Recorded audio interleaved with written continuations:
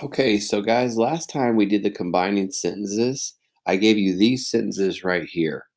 I gave you four sentences, and what I wanted you to do was I wanted you to combine them into a simple sentence. And the way you do that is you take the main idea from these four sentences. So after you read all four of these sentences, you got to decide, okay, what's the main idea here? And how can I just put that into one simple sentence? Um, so when you go through these sentences, you don't want to try to jam everything into one super long sentence. You're going to take out stuff.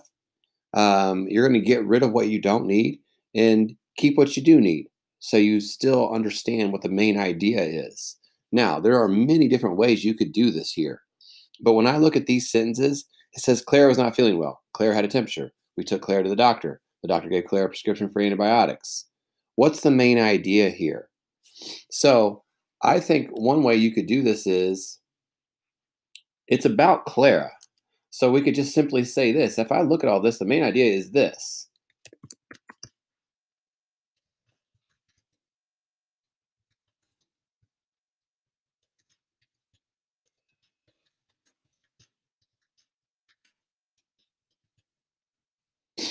I mean, I believe that's just one way to do it. There, there's an, there are many other ways you could simplify these four sentences.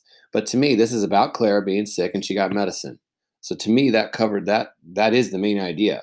Claire got medicine from the doctor because she was sick. We don't need any of that other stuff. So that's what I mean by combining sentences. So today I'm going to give you I'm going to give you some more sentences, and I want you to try to combine them into one much simpler sentence. But that sentence you choose uh, needs to grasp the main idea. Okay,